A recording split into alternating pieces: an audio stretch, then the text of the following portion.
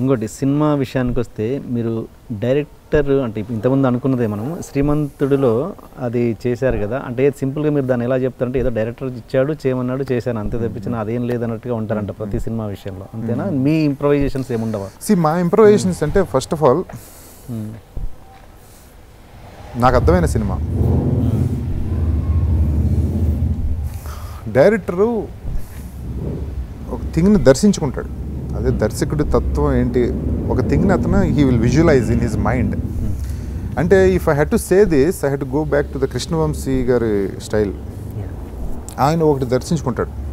ఆ దర్శించుకున్నది చూడడం అతను స్క్రీన్ మీద చూడడం అనేది అది అది కనపడేదాకా హీ వాంట్స్ ఇట్ అనమాట.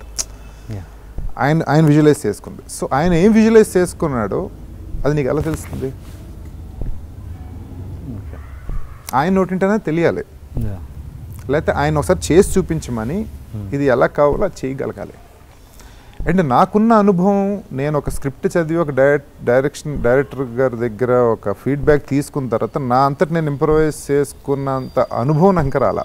అంటే నేనేం చేసి చూపిస్తే. నేనేం చేసి రకాలు ఒకటి రెండు చేసి చూపిస్తాను అది నచ్చచ్చు నచ్చకపోవచ్చు.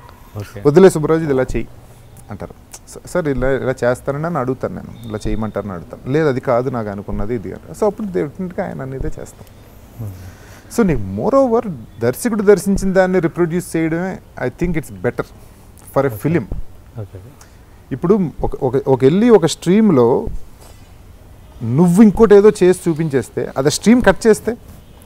Process of going a film it's it's a moving emotion right so ఎమోషన్లో నువ్వు చేసి ఒక పెర్ఫార్మెన్స్ అబ్స్టికల్ అవ్వకూడదు కదా and it should not cut the emotion of the film through so you better improvise what director said or emote what director said I think that's the best way అనిపించింది నాకు Okay. okay. More లేదు సుబ్బరాజు నువ్వు చెయ్యి ఏదన్నా నాకు ఇవ్వంటే maybe I will try.